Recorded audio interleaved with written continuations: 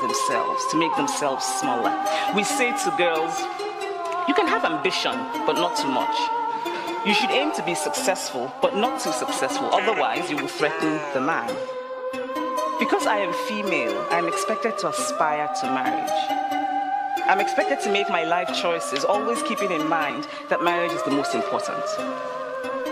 A marriage can be a source of joy and love and mutual support. But why do we teach girls to aspire to marriage and we don't teach boys the same? We raise girls to see each other as competitors, not for jobs or for accomplishments, which I think can be a good thing, but for the attention of men. We teach girls that they cannot be sexual beings in the way that boys are.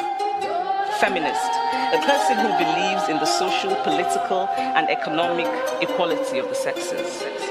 You wake up, post up, round round in it, flossing on it. This diamond, my diamond, this rock, my rock.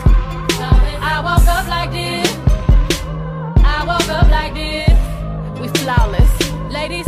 Tell them I woke up like this, I woke up like this. We flawless, ladies.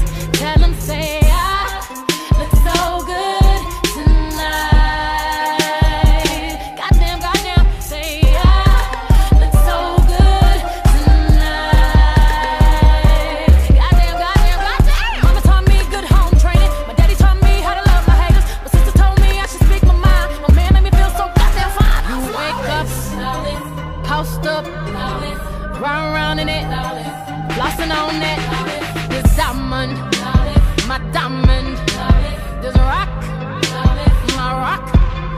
I woke up like this. I woke up like this. We flawless, ladies. Tell them I woke up like this. I woke up like this. We flawless, ladies. Tell them say.